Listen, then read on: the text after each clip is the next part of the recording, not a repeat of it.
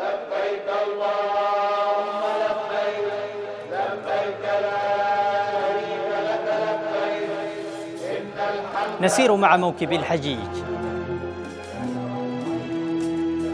نعيش أجواء الفضيلة وبركة الزمان. نرحل عبر ذاكرة البيت العتيق. نستلهم الدروس والعبر ونقف عند المشهد الكبير في أيام الحج.